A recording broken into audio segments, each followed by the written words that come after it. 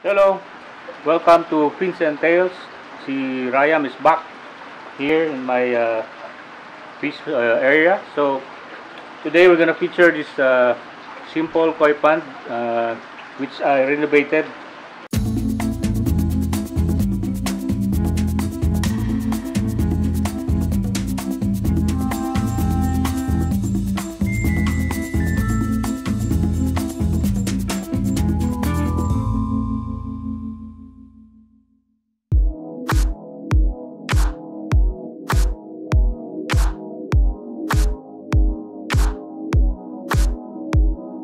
Old school koi pond uh, was uh, renovated. So what we did is we added more uh, more chamber for the biomedia. Then uh, by the way, it's uh, this pond is uh, dimension is around 10 feet by 10 feet by three and a half feet deep.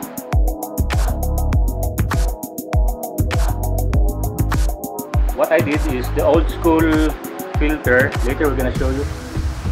I removed the chambers, so make it one long chamber, uh, more or less pattern uh, to Eric uh, Eric filter system. No?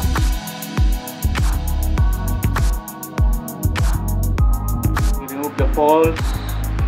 We added a long poles for the pumice media, and then I want the water just to creep down, not a big poles or a long poles, so we don't have to use a, a bigger pump, water pump. We use a PB 20,000 liter per hour Periha pump for the water pump, and then the aeration we just turn it off so you can see the, the koi. Uh, it's uh, part of the Fujimac air pump which drives six Matala discs.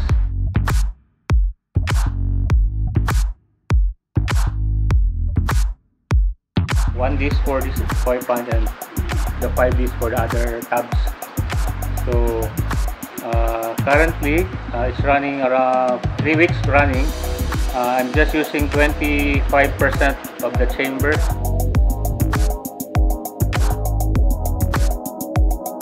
Pumice muna kasi yun muna ang budget.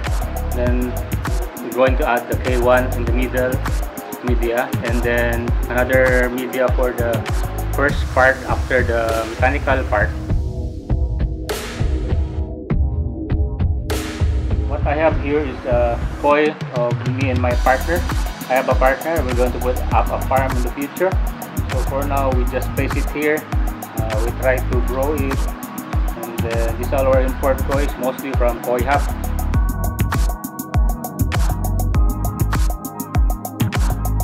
We feed them five to six times a day.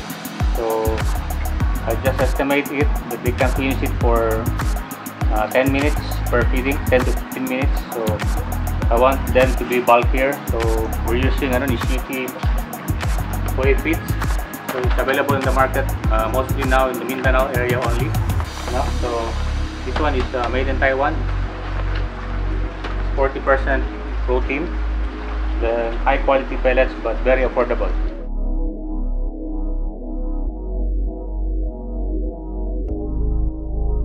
Maintenance wise uh, we just touch the mechanical filter.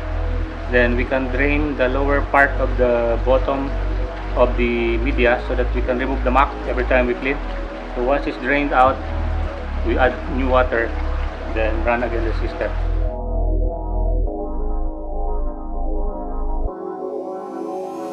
As I said uh, kanina So we're using uh, one Pereja and then also one UV na 40 watts.